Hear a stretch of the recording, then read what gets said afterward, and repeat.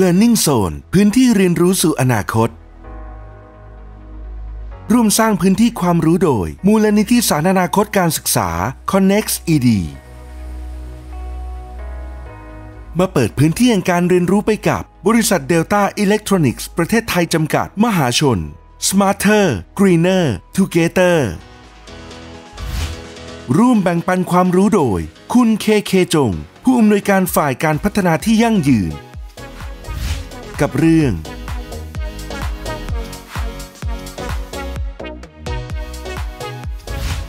Hi everybody, I'm KK Chong, Head of Sustainability from Delta Thailand.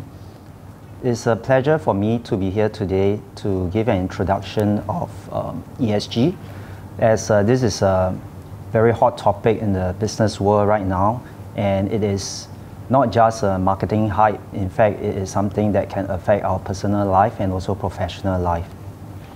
So before I continue with the subject, I would like to give an uh, overview of the objective of this course. Uh, first of all, uh, I'll give an introduction of ESG, uh, what does it mean, and then uh, explain a little bit on why is it important, and further elaborate the key components of ESG, and finally the benefits of ESG implementation.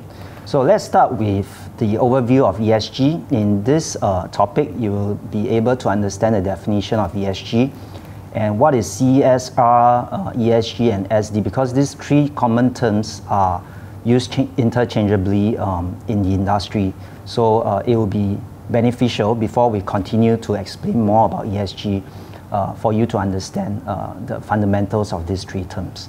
And then finally, we'll talk about the common issues in ESG before we proceed to explain the details of uh, each component. So, what is ESG? ESG actually stands for environmental, social, and governance.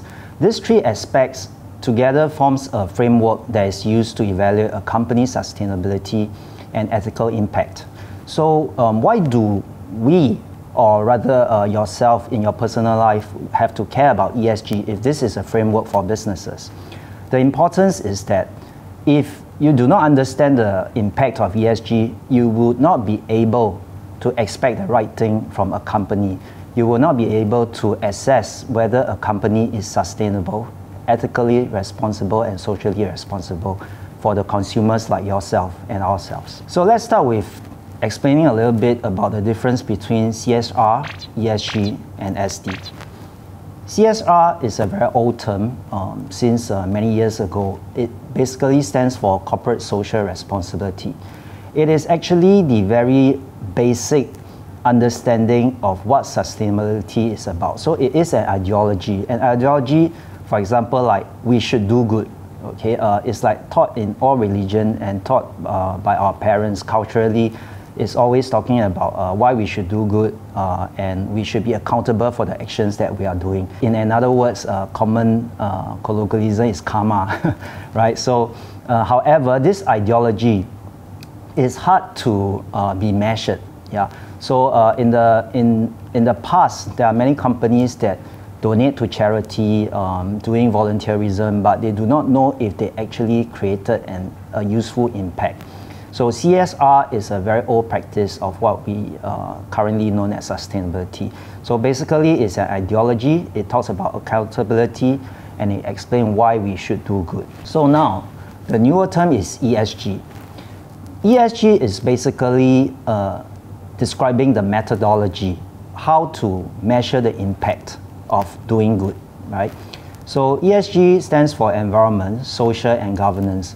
So it's a methodology, is uh, talking about what to measure and how to measure. So currently there is a lot of industrial standards, a lot of international standards and reporting standards that require us, uh, particularly like what we call the GRI standard, which require us to answer certain questions, disclose uh, certain aspect of the businesses to ensure that we are using the right method, the honest method, a credible method to measure our impact when doing a CSR program. And finally, when you put these two together, CSR plus ESG, it becomes a strategy. This is what we call sustainable development, or sometimes in short, we call sustainability.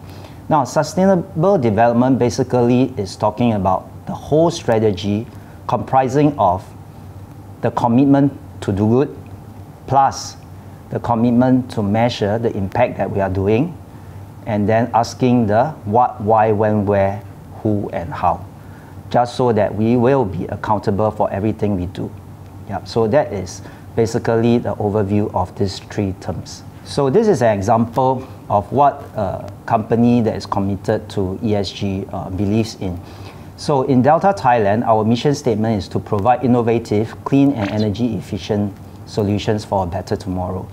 If you are able to grasp the essence of ESG uh, in the previous page, uh, you would be able to tell that in this one simple statement, it actually reflects uh, the whole ESG spirit uh, that is inculcated in Delta's uh, culture and values, right? So um, in our commitment to the environment, we believe that our innovations and actions must create positive impact for the environment. Whatever we do, it doesn't only impact our profit, it also impacts the society, the country, and most of all our employee and the community surrounding it.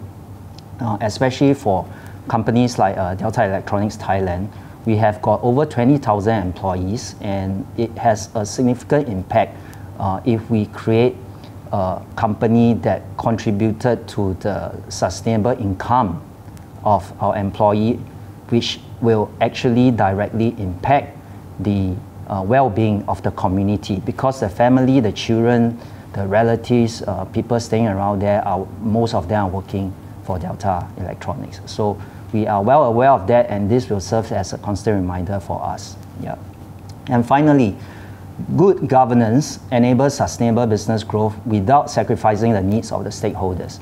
Basically, this is a statement uh, extracted from the official definition of sustainable development, which was uh, established in somewhere in 1987. Yeah, and uh, why do we strongly believe that good governance enables sustainable business growth? Because if there is no good governance, there will not be a strong belief in ESG. Without a strong belief in ESG, a lot of companies uh, right now are just so-called greenwashing, which is to say that uh, on, on the outside they are presenting themselves as a sustainable company, but on the inside the leadership might not believe so. If the leaderships are skewed towards just making profit, uh, then this will end up chances that the company is greenwashing. And this goes back to the importance of why uh, commoners and uh, people and consumers need to know what ESG is about so they can tell the difference what is a, a real ethical business and what isn't.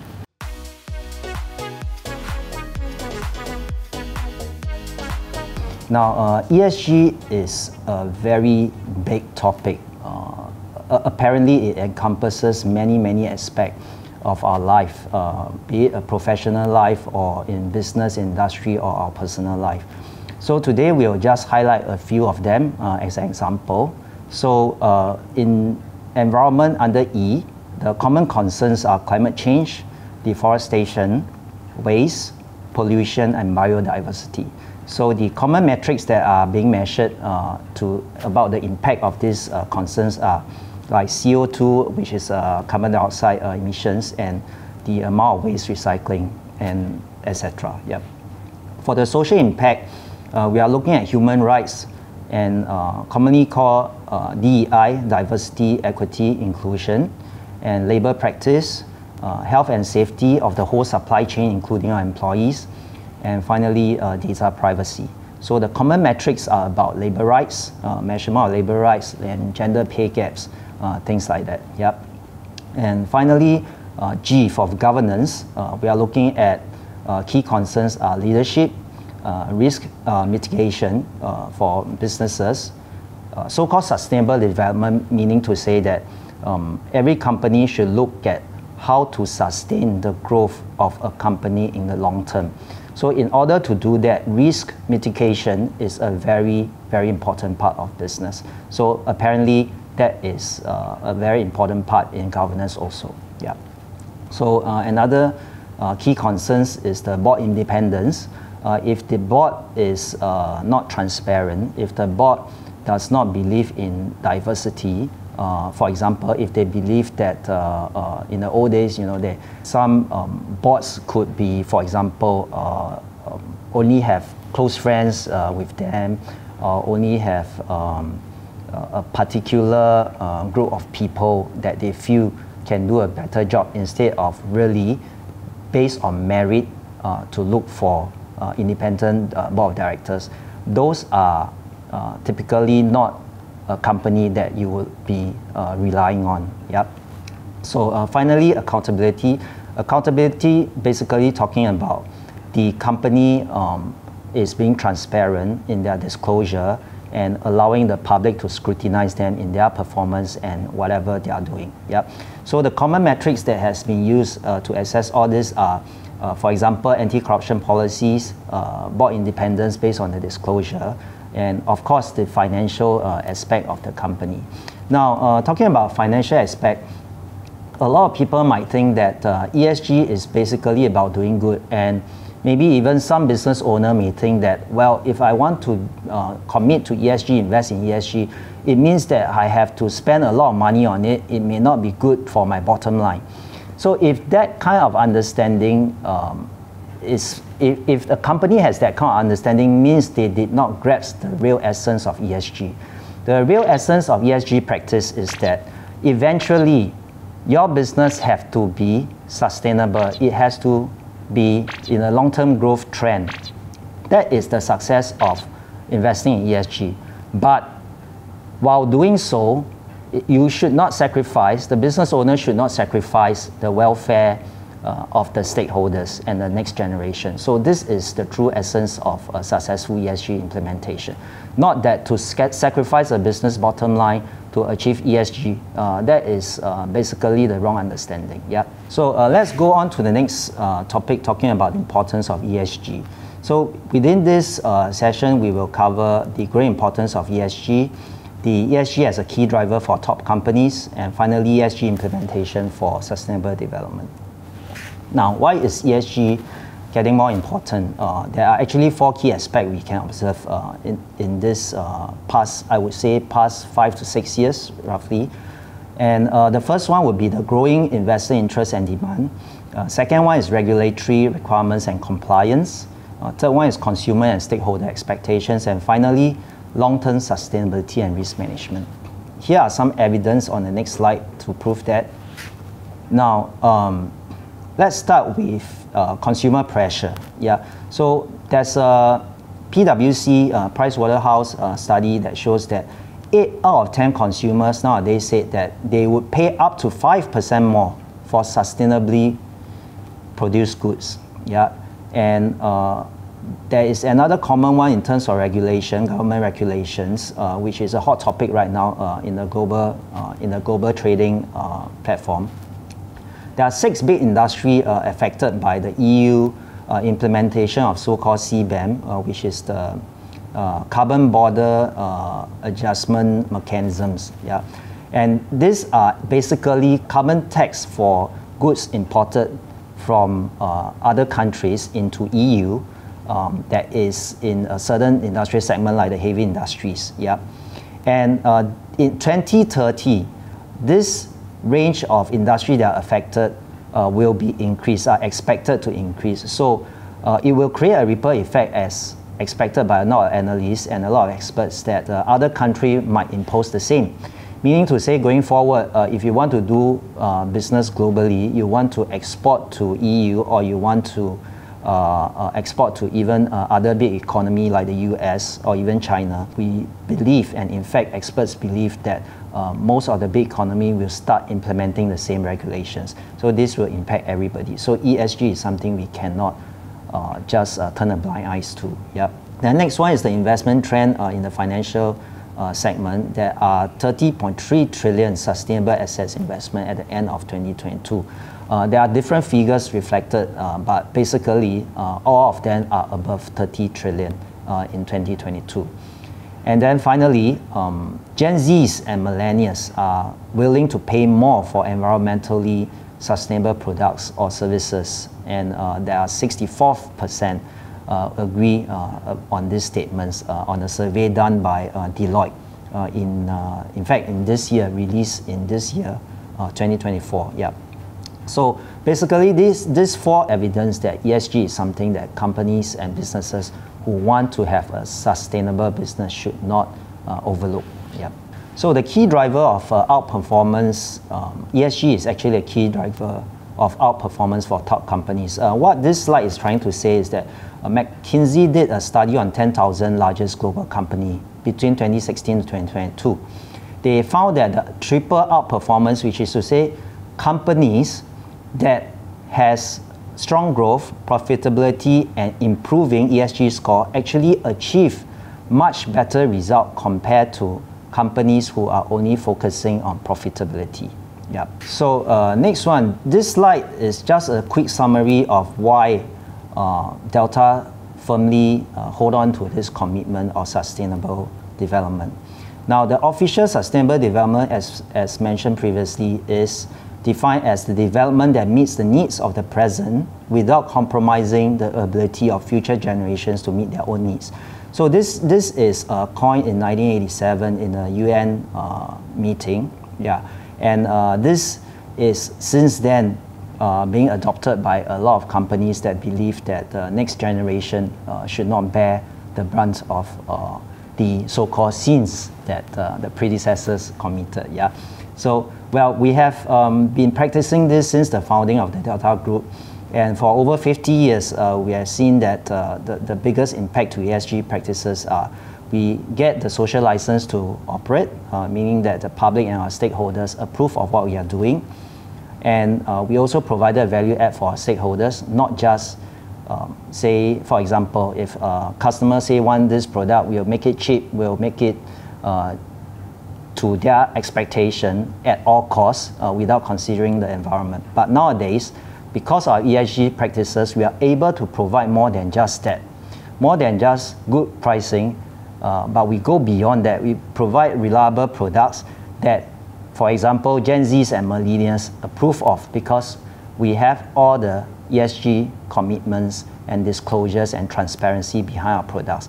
This means that indirectly and directly, we are creating a much better brand reputation for our customers. And even our vendors uh, who would be proud to be associated with Delta in that sense. Yeah. And finally, uh, evidence has shown that we are able to create uh, sustainable uh, profitability in our business. Uh, for example, in Delta Thailand, for over 20 years, we have been profitable. Yeah.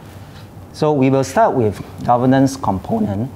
Now, uh, ESG is commonly mentioned at ESG, but we strongly believe that G is actually the most important component of the tree. Uh, how so? Because if the leadership, as I mentioned previously, if the leadership do not believe in governing the company or managing the company uh, with ESG principles, then uh, everything are just uh, fake, yeah, just on a shallow level to, to so-called greenwashing. So we strongly believe that governance is the the single most important uh, aspect in the three uh, components. Yeah. So we'll quickly run through the key issues, the ESG integration. Of course, there is a lot of uh, issues uh, in, in each aspect of the ESG. So we'll just be presenting a few key, uh, key ones for examples, yeah, uh, for your understanding. So the four key issues we want to present today is the leadership, risk, manage, risk mitigation, corruption, and transparency. So within the ESG framework, uh, risk mitigation involves identifying and managing ESG uh, risks. Why? This is to protect the business operations and stakeholder interests to ensure a sustainable long-term growth, as I emphasized uh, many times just now. And what does transparency means over here? So transparency actually entails uh, openly disclosing relevant information about ESG performance this is to foster accountability and trust uh, among our stakeholders. Uh, both practices, um, risk mitigation and transparency, are actually is very, very essential for promoting uh, sustainable business uh, so as to enhance our stakeholder engagement and also driving positive impact, not just uh, again for our stock price or for our profitability, but actually for the long-term uh, social license to operate. Yep. And finally, corruption. Um, this goes without saying, uh, nobody wants corruption in their business. As a business owner, you wouldn't want to pay, uh, pay more and um, to actually satisfy the bad practices and uh, absolutely in, in Delta, we do not condone that. And in fact, we are a member of the CAC, uh, Independent Association in Thailand, uh, which are advocating for anti-corruption. Yeah. So uh, we'll elaborate a little bit more, taking leadership as an example.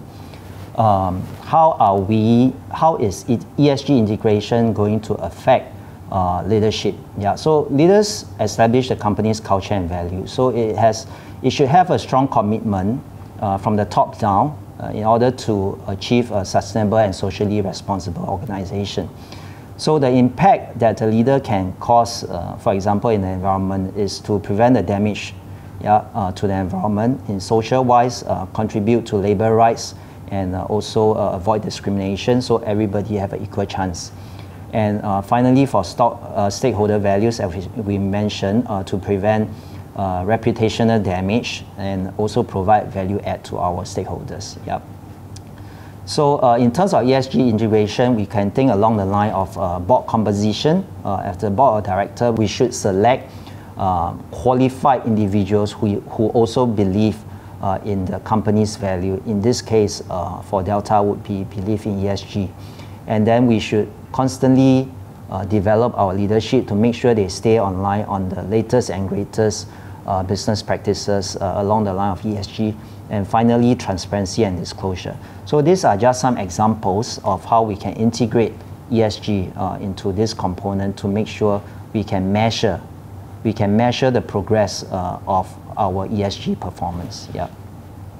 So this is quick infographic on how we drive sustainability strategy uh, inside our company. So uh, ESG itself actually align with our founding mission statement to provide innovative, clean energy, efficient solution for better tomorrow. So uh, this drives down to our very simple brand promise of smarter, greener together. Now we break down the three uh, terms, smarter, greener together, to actually innovation, eco-efficient operation, and finally partnership. So with that focus in mind, we seek to deliver value add for our stakeholders. And we abide by, uh, we are focusing on seven UN SD goals. Uh, in this case, uh, why seven out of the 17? Because this seven has the most immediate impact to our community in the businesses that we are running. Yeah. So what is the result of this governance and belief in ESG? Uh, because of that, we created the business uh, with seven solutions that address megatrends issues. Why megatrend issues? Because megatrend is actually a result of uh, the global issues, the most uh, urgent matters in the world, and, and this has a direct impact to sustainability, to every aspect of life. So uh, we have seven solutions uh, driven by this belief in ESG. They are the industrial automation, EV charging, data center, building automation, smart energy, display and monitoring, and finally telecom energy. So what is the outcome? The outcome is we have seen uh, as I previously mentioned, more than 20 years of profitability. And during the pandemic period between 2019 to 2022, we actually have a growth of 104% because of our support for the EV industry and our support for the, uh, the um, growing, the aggressive growth of the uh, e-commerce uh, during that period. So uh, apparently ESG uh, as a guiding principle for us has led us to correct direction in business. And finally, our, our performance are recognized by, uh, firstly, the Prime Minister Best Industry Award just this year. And then we are also, also the uh, only Thai electronics manufacturer to be listed on the World Index of Dow Jones Sustainability Indices, and also uh, selected as a supply engagement leader in the CDP disclosure. So today we will end this session uh, with the introduction of the governance aspect of the ESG. And I hope uh, we are able to give you a better understanding why ESG is important. So I wanted to conclude uh, today's session by saying that uh, ESG is not a hype anymore. It's a proven principles uh, as far as Delta Electronics Group is concerned we have been seeing successes in the past. We have been seeing the impact, the positive impact that we have been creating for our stakeholders. And we hope that more companies uh, believe in that and is doing that. And most importantly, action speaks louder than words. Yeah. If a company want to treat ESG uh, as just a marketing hype, then uh, too bad uh, they are bound to fail. And if company is committed to ESG, uh, do not expect quick results. Yeah, take baby steps uh, based on our experience. Uh, if we keep on learning from the best practices in the industry, best practices in the world, have a leadership that have a strong belief in ESG, uh, success will come. Yeah, but it takes a lot of patience, a lot of commitment. And uh, good luck to uh, companies and organizations that would like to follow these steps, and also for individuals who are already believing in this, uh, please uh, help to advocate the same uh, principles to your peers, to your friends, to your family. Thank you. เพราะการศึกษาเป็นหน้าที่ของเราทุกคน มูลนิธิสานอนาคตการศึกษา ED